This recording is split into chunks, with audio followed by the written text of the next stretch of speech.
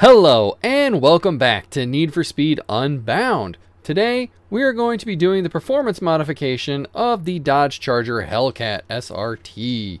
So we're going to be doing an A plus build and an S build. One of these builds I think is actually viable and the other I don't. Honestly I don't think A plus is that viable but we'll run some races and see what we're doing. Okay, First off, the engine we are using for this build is the 6.4 liter V8. For the parts, Pro Induction, Super ECU, Pro Fuel System, Pro Exhaust, Naturally Aspirated, the Pro Nitrous, Elite Road Suspension, Super Brakes, Elite Grip Tires, Elite Clutch, the Pro 6-speed gearbox, with the Elite Differential and I have Super Nitrous Grip and Super Nitrous Drift. For the handling, we are looking at 40% grip, which is as high as this bad boy can go. The steering sensitivity all the way up and the downforce all the way up. On this one, I actually have gas or brake tap set for my drift entry because sometimes it's nice to have both with this car. Alright, I'm going to go race against some AI players now. Alright, so we're going to run the long climb to see how this performs. I'm not expecting much out of this vehicle. Criterion really just looked at muscle cars and said, you know what? Nobody wants to use these things. Let's not worry about making them good at all. And I really wish they'd make people's position and name and everything else not be right in front of your face when they're right on top of you like that. So this car is very slow off the line. As you can see, it took me forever to get to this point, and I still haven't caught up to second or first, even though I'm starting to get there. When it gets into the higher gears, it's not too bad. It's when it's in these lower gears that it's not the greatest. And it doesn't handle real well either. I really do think Criterion needs to go back and work on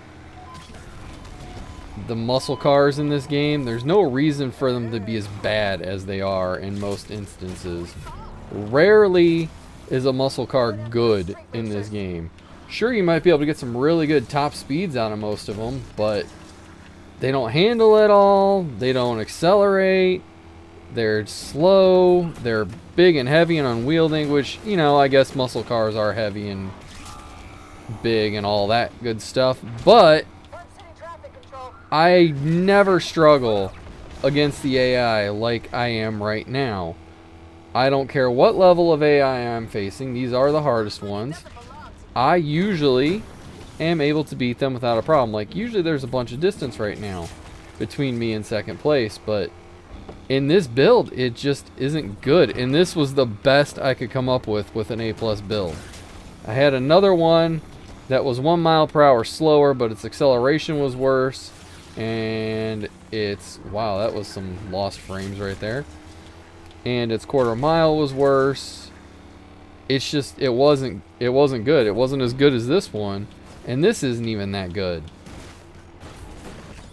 In case you didn't know you could do that in this part of in that part of the race. Saves you a little bit.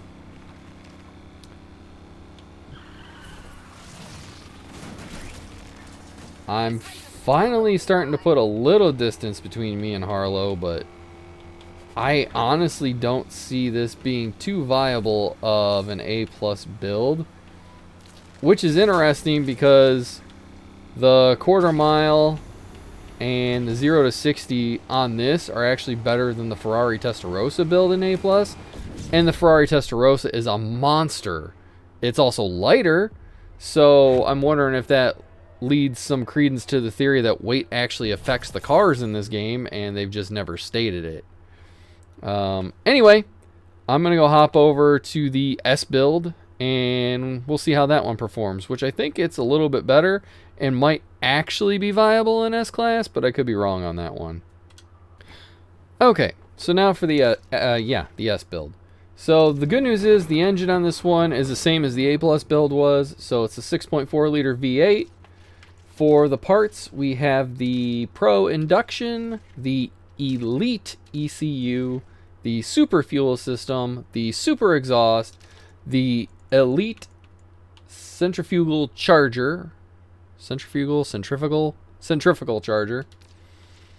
And Pro Nitrous with Elite Road Suspension, Super Brakes, Super Grip Tires, the Elite Clutch, the Pro 6-speed gearbox, the Elite Differential. So really, the only thing that was changed was from the supercharger on over.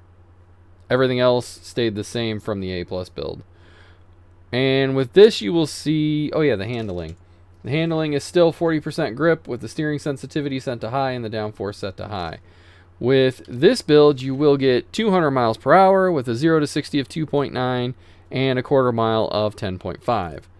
So I haven't run any races with this car yet, but in just testing it on the roads, it seems like it could be a viable S-Class build. It is not going to be the fastest or best build in the world. There are much better S builds out there, but if you really like this car and want to use it, I think this one makes it viable. So I'm going to go hop into the S-Class race and show you how it does. Alright, so here we are on Blue Collar in S-Class to see if this does any better than it did in A+. plus. Uh, so far off the line, it's not too bad. And I'm already catching and passing a lot of the AI. Wow.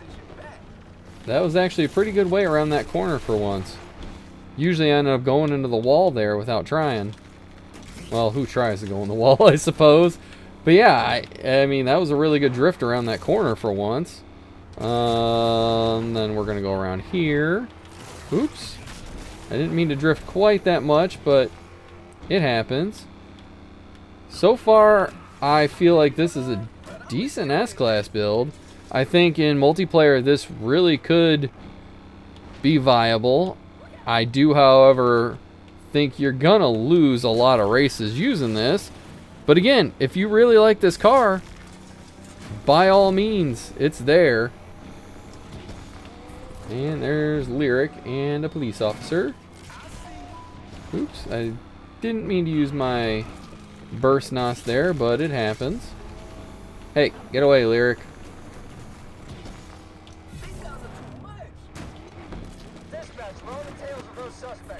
Off-road for my builds is usually never a good thing because I always build them for grip on roads and I don't keep them in the middle because the grip is where it helps you get a lot of the acceleration. If you don't have the acceleration, then chances are I'm not making that as my build. There's a chance that Lyric could win this race. A chance. Come on, Lyric. Get your little McLaren out my way.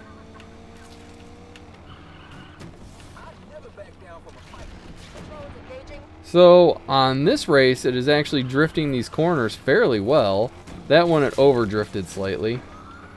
Flying police officers. Get, oh, lordy. There goes the win. That's okay. That was my fault. Like I said, this car, not going to win them all. I just think it's viable if you want to use it. So obviously Lyric is going to win this race. I'm going to come in second. And Bob's your uncle. Alright, so there's not a whole lot to say about this car. I don't know why you would buy it and build it in any class unless you really, really like this car. As I stated previously, Criterion has really done a disservice to most of the muscle cars. You'd think they would get going up to speed a lot faster than they do. They're just so slow in most cases, though. And if they have any speed to them, you just can't handle them. They're they're just going to fall right off the road anytime you need to make a, a corner. So that's going to do it for this build.